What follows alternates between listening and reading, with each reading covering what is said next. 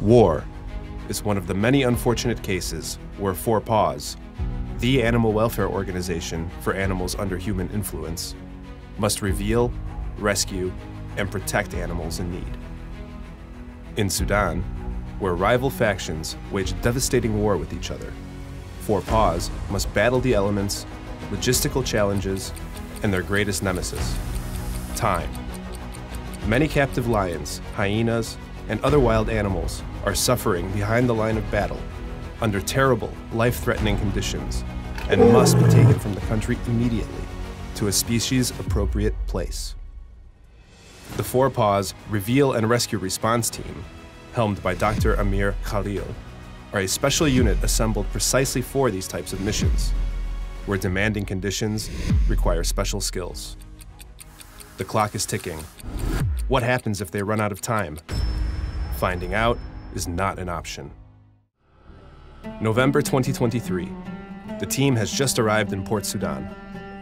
The mission get the animals from Sudan Animal Rescue, near the war torn capital Khartoum, to safety in Wad Madani, meaning the team must travel over 2,000 kilometers and cross uncertain territory. They are joined by Dr. Frank Göritz, head vet at the Leibniz Institute in Berlin and frequent Four Paws collaborator. After Dr. Amir briefs the team, they must go to load over 20 transport crates, which were custom built locally, onto the truck which will join the rescue. When they arrive, it is already dark.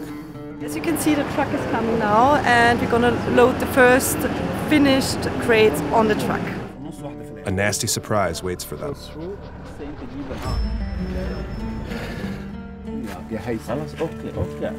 So um, I saw several crates which are not ready. The wooden floor is not fixed yet, and uh, in some of these cages they forgot the, the safety the safety measure to secure the sliding door. Curfew is rapidly approaching, and time is running out. So unfortunately, Sudan Animal Rescue informed us that we lost another lion. This makes the whole rescue even more urgent. So we see that we're losing um, the animals every day.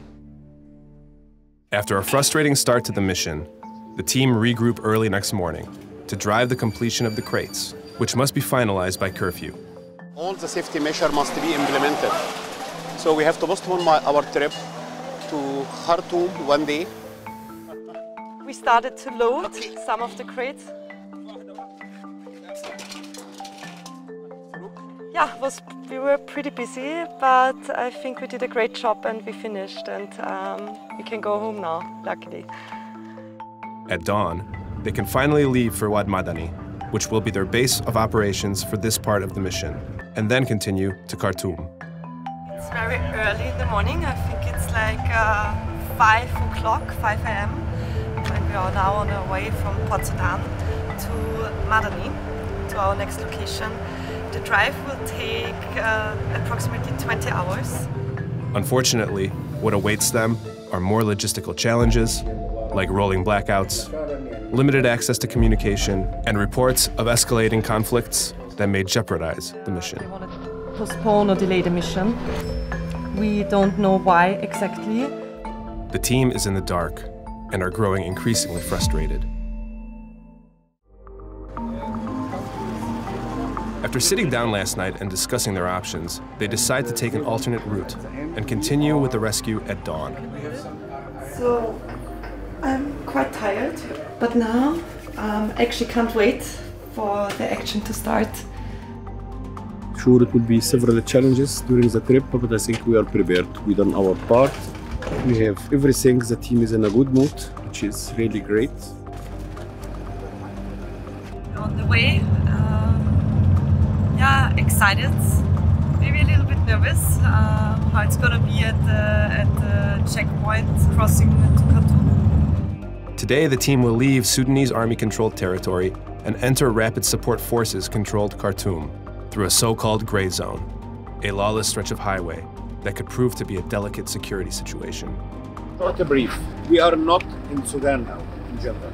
So no army, no police in this area. They fix the vehicles in the convoy with white flags and embark on the last few kilometers of the journey. yeah, we are getting closer and closer um, to the lines. But first of all, we have to enter the border here.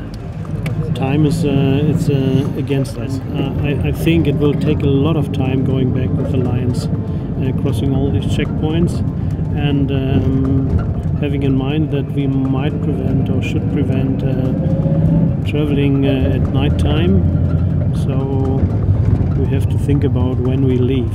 Security comes first. The team make it to Sudan Animal Rescue safe and sound, but the situation they find is dire. There are much less lion than last year, and they are very thin, very, very thin. Uh, animals are really in very, very, very bad condition. Really, a very critical situation. Emaciated, apathetic. Lion Leo is in the worst condition and needs immediate medical attention. He is too weak to be put under anesthesia. So we just uh, we did an IV access and put him on an infusion, and now we give him time and uh, rehydrate him very slowly. I'm not sure whether uh, the lion are gonna make it. The team must continue working, as all the lions must be anesthetized and crated before sundown. A massive job that brings lots of difficulties, especially for Lion Leo. Yeah, Leo is dead we expected. This will be the destiny of all the animals if you are not here now. With curfew approaching, the team has no other option but to spend the night in Khartoum, hoping the transport to Wad Madani will finally happen tomorrow.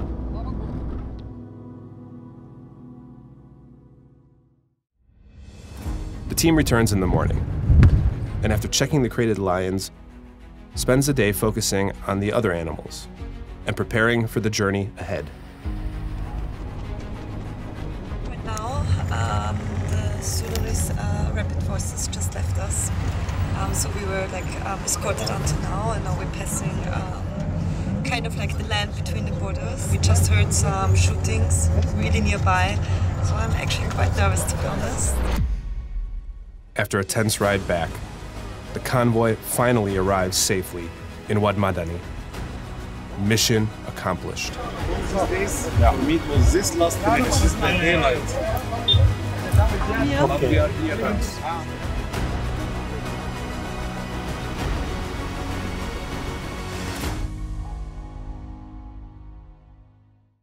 The animals are safe here and have access to food and water.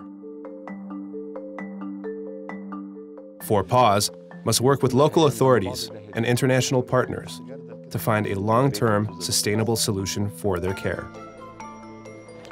But for now, it's time to leave Sudan. Until.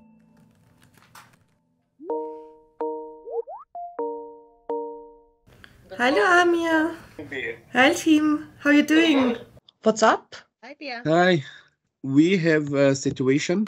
So we have a serious situation. We just got the information from Sudan that uh, the Sudan Rapid Support Forces took over Wad Madani and all the team members working in, in Parona caring for the animal have to leave.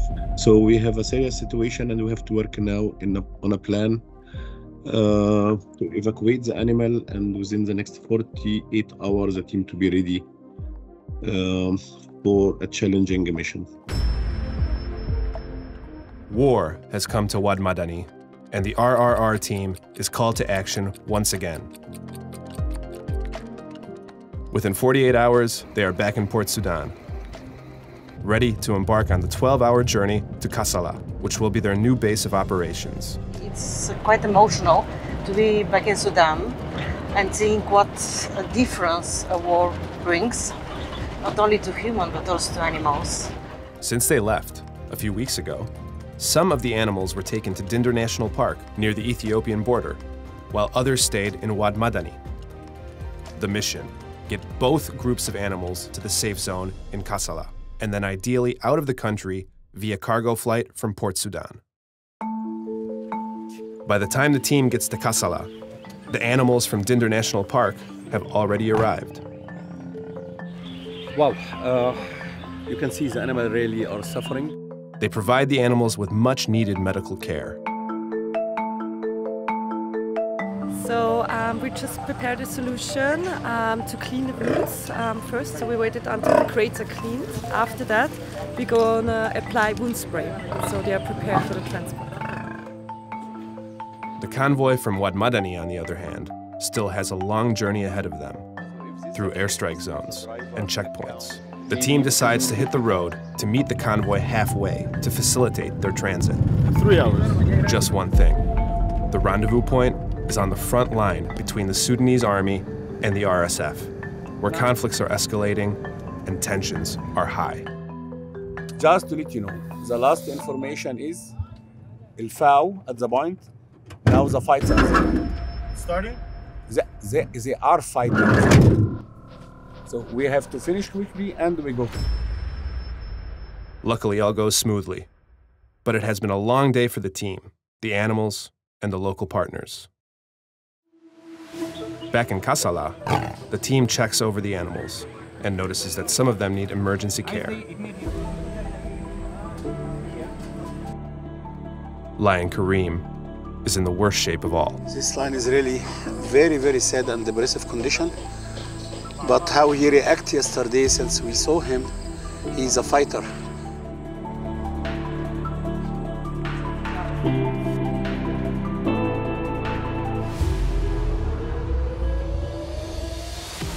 The time has come for the team to load all of the animals onto a convoy once again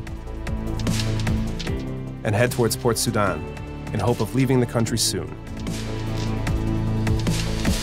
Uh, I still have so much adrenaline because I know what's expecting us in the next 48 hours. I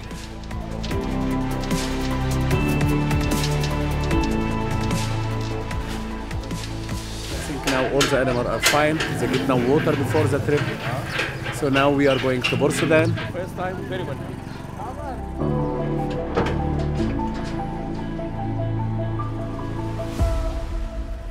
Their journey is grueling and very hot. The animals are struggling. As mission leader, Dr. Amir decides that the convoy will stop in Sinkat to wait for news on flights and to care for the animals. Though the weather is more forgiving for the animals and the team, crowds of people start to gather, making their jobs much more difficult. It'll be fun. We'll get it done.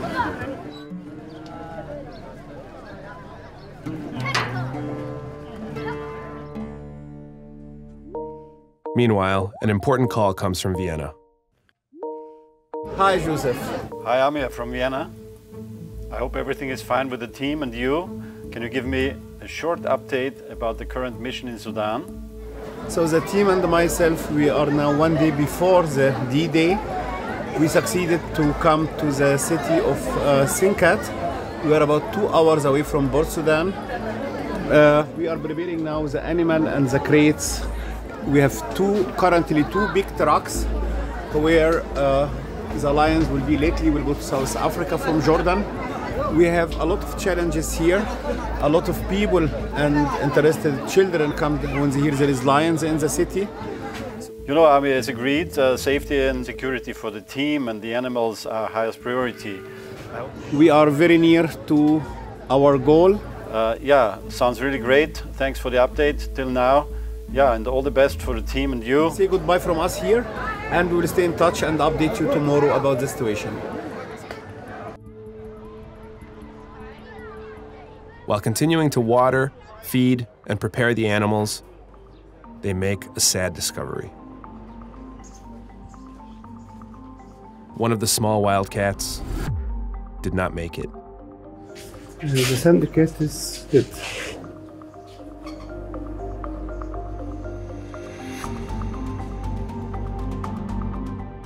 But the team must be strong and focus on the care of the other animals, like Lion Kareem. To be honest, I can't wait to uh, leave and go direction Amman. Seriously, it's time to go. Yeah. After a few days in Sinkat, Dr. Amir received some more bad news. Uh, I mean, we just got the information that uh, the aeroplane, the cargo aeroplane cannot take the total team member, nine passenger, and they can fly just the animal. The highest priority is that the team member should leave at first level and to evacuate from Sudan. He makes the hard decision that he will stay in Sinkat with the animals, while the others should immediately catch the first flight out of Sudan to Jordan. The team leaves at dawn.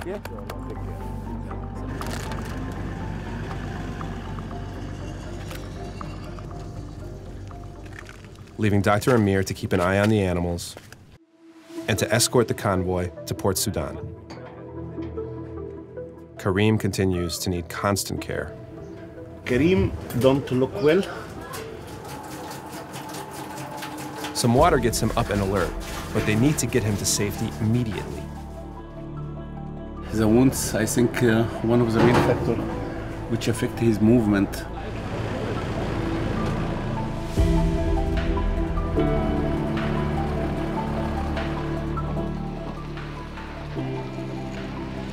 Yeah. Finally. Now I can see they are in the way to the airport. After arriving safely at the Port Sudan airport, Dr. Amir can finally breathe a sigh of relief. Until, As you see, it's suspended. again, there is a problem with border control. The air aviation here is waiting document from the Wildlife Authority. Dr. Amir turns to his expertise and succeeds to find a diplomatic solution, as always.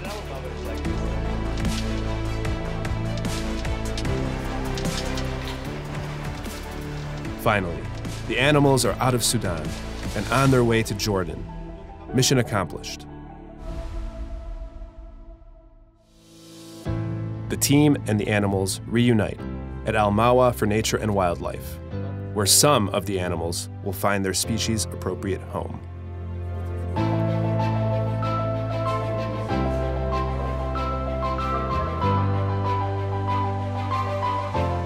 Spirits are high, and all of the animals are doing well.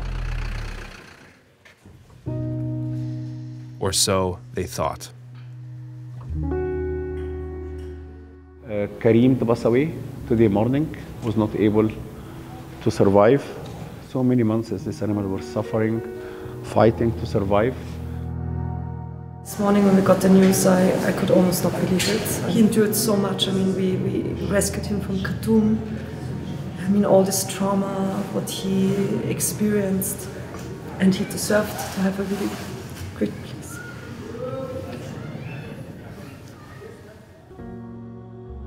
The team must power through and get the rest of the animals to South Africa.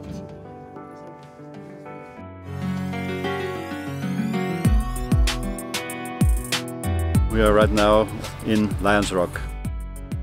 Our 11 animals from Sudan arrived yesterday and today we are going to release them into the enclosures. I'm really excited for the day. Last year in April, the war started in Sudan. I'm sure people start to flee. But the animal was also a victim in this war. And finally today, they have the South African sun, no more explosion, no more bomb, no more hungry.